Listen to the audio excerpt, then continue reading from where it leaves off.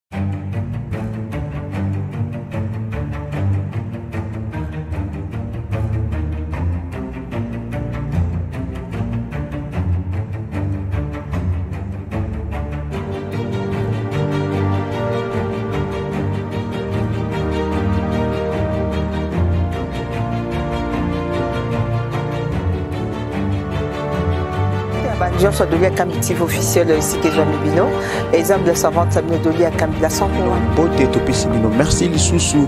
na bandeko oyo nyonso ba mesana kolanda Doli Akami TV officiel to pesi bino. Merci.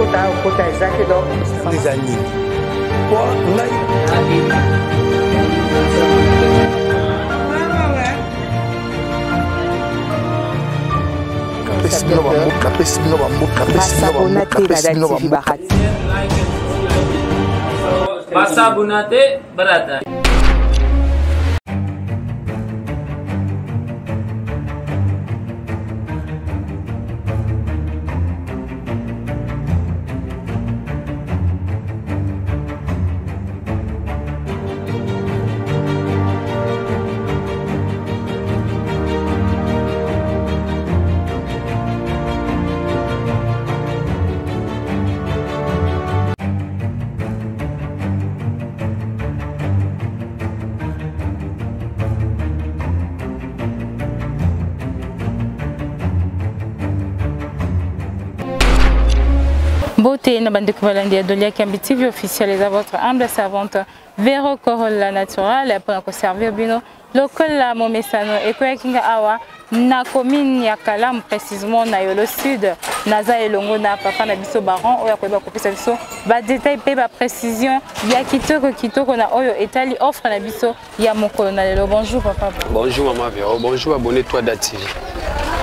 ok babone na biso bakosepela koyeba offre nini omemeli bango mokolo na lelo vraiment babone toi da tv lelo naza na bino nga na yolo sud na promoteur bino commune ya kalamu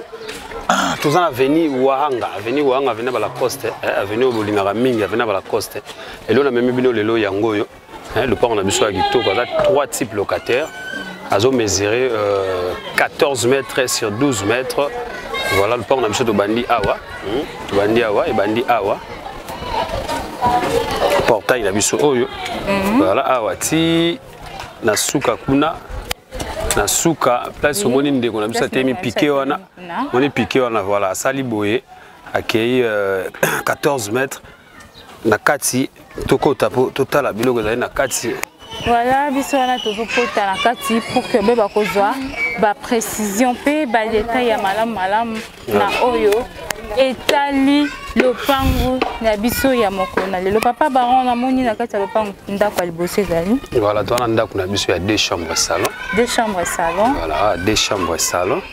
ndako ya mibale hmm. awa ezali chambre salon awa ezali chambre salon ya misato ya misato mpe ezali chambre salon ya misato mpe ezali chambre salon, salon. Voilà. donc euh, awa na yolo sud ndako ya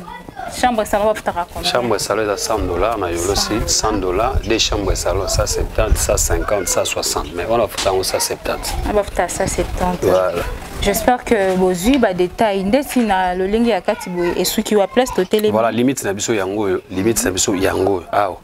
mm. awa nini eh, nini na biso wana moni brique na biso wana mhm. oyo ekaboli wana yango wana limite na biso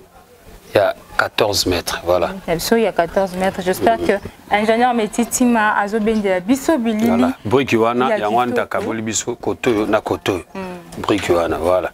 donc nsima na biso mpe yango wana biso awa liboso yango donc toza na trois type locataire toza na chambre et salon chambre et salon na deux chambre et salon trois type locataire totika na osala biso ko voilà bozwi badetail ya kitoko na oyo epesami awa epai ya papa baron wi papa baron bakolinga koyeba motu ya lopango na biso nalingaki na insiste lisusu mpo na mesurage toza tobandi su awa mm. tozwi colonne oyo mm. ti tout droit ya portail ti oui. tout doit ya portail mm. tout doit ya portail wana mm. yaka mpo nalakisa bien mm. ti tout doit ya portail na biso oyo oui. yango nde mesurage na biso alignement ya lupango na biso mm -hmm. voilà biso wana tozopusana elongo na papa baron omoni katikati na biso yango oyo katikati ya lopango na biso yango oyo mm. toke tout droit colonne wana ti mpasi totelemaki ti na boye voilà nde nalobi sikoyo na espace oyo kotika eza combien de mètre oyo eza servitude mpo na bato ya nsima wana eza ya biso te biso mopanzi na biso yango oyo place ah. nazotya mesirage oyo mhm. donc 12 mètres sur 14 mètres 12 mètres sur 14 mètres j'espère que bozwi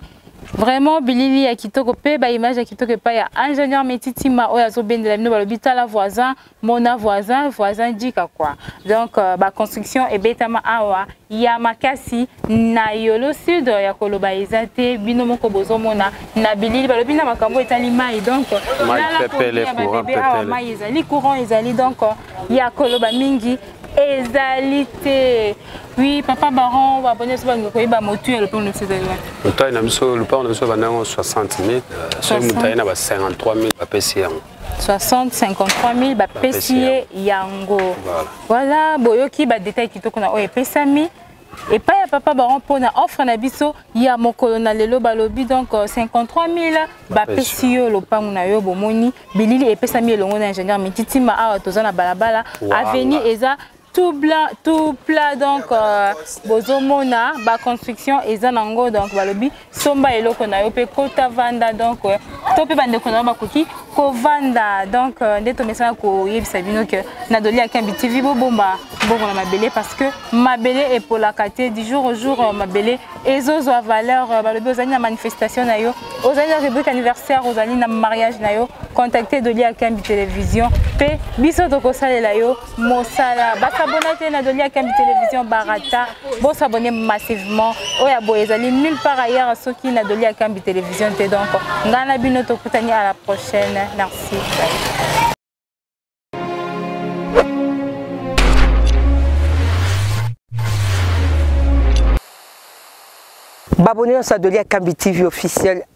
oyo eza masolo ya la sancourage na babone na ye babi masolo ya terrain awa na kati ya commune ansele précisement na quartier kindobo babi 10 minutes na boulevard juste ka so okomi na mausolée donc ntina baterrain eza 10, 10 minutes so olekani kaka shabani nonda okomi na baterrain tomorcele 20 sur 20 balobi koma papa lopangu koma mama lopangu donc olingi ozala voisin ya ingénieur mais Merci. Olingo za la voisin ya ingénieur Ponce, olingo za voisin ya Rebecca Lenge. Soko ko sepela pe ko za voisin la Sankouroise donc yaka ko somba mabele na cité la Sankouroise ba bi promotion zo continuer parce que déjà dans quelques jour a promotion ezokatana babi okoti na promotion tokora te ya boye okozwa lisusu wapi toujours kaka na doli ya kambi tv officiel basomba te barata basabona te barata babi biso ana da tv eh, biso ya babone ya biso tozalaka bapapa mapangu na bamama mapangu vraiment nabengi bino na cité la sancourage boya kosomba